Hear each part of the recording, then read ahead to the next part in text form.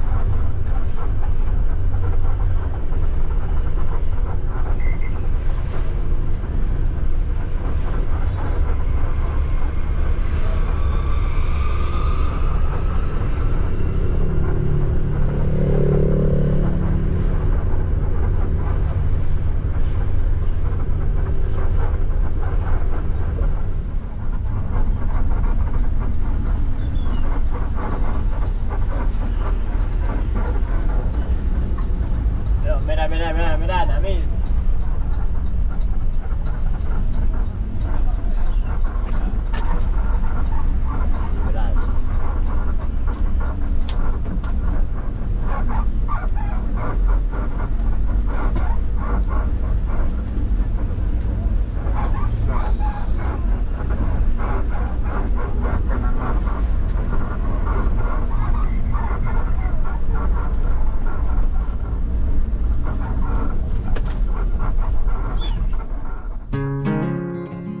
Pukul 10 lewat 30 menit saya sampai di markas besar ALS Kota Medan.